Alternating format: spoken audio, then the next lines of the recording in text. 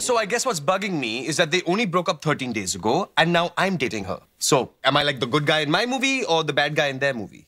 Pretty sure you're the weird friend in our movie.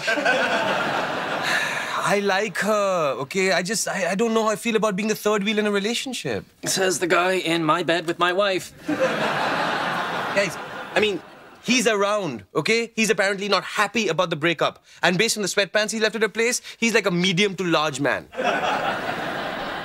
Maybe those are his after the holiday pants, like you have. I don't know. I mean, do you think it's too soon for her to be dating? If you and Bernadette broke up, like, how long would you wait? Oh, well, I don't even want to Eight think. days. What? Two days to cry, six days to hit the gym. First of all, you already look amazing. Aw, that's sweet. I'm gonna give him an extra day of crying.